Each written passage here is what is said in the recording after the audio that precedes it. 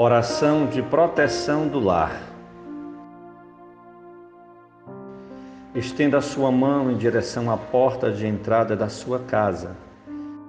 E vamos orar pedindo ao Senhor que proteja e cele esse lugar e o seu lar contra todo o mal.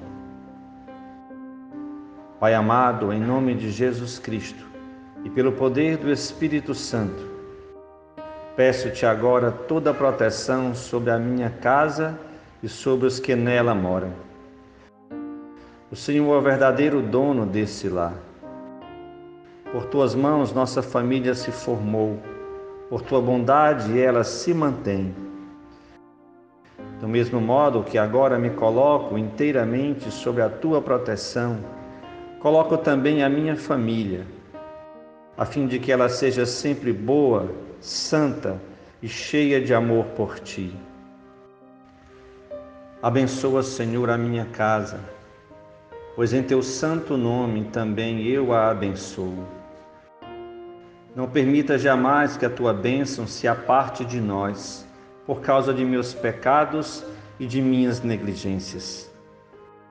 No passado, para que o espírito da morte não afligisse teu povo, o Senhor mandou que fossem selados os batentes das portas de suas casas com o sangue de cordeiros. Senhor, eu suplico neste momento, não com sangue de cordeiros, mas com sangue de Cristo.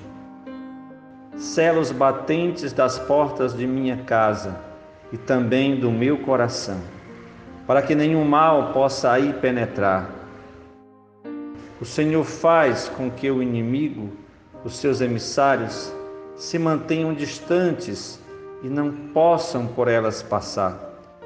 Que todo e qualquer mal seja pelo sangue de Cristo barrado. Ó Senhor nosso Pai, eu suplico que todos aqueles que por esta porta passarem e no meu lar ingressarem, sejam abençoados e purificados pelo preciosíssimo sangue de teu Filho amado Jesus. Que permaneçam no coração dessas pessoas somente as intenções boas, que elas sejam libertadas ao entrar, que estejam protegidas e abençoadas ao sair. Que ao passarmos por essas portas seladas com sangue de Cristo, o teu santo anjo nos acompanhe guarde quando formos, e sempre nos purifique quando voltarmos, a fim de que os males da rua não ingressem nessa morada. Ó Senhor, afasta dessa casa e dos que nela habitam as doenças, a pobreza e as riquezas perigosas. Livra esse lar e essa família de todas as desgraças, males e perigos espirituais e físicos. Concede todas aquelas graças tão necessárias e preciosas para viver bem, com felicidade, proteção e salvação. Concede também aquelas graças que eu, por não saber orar como convém, não sei pedir.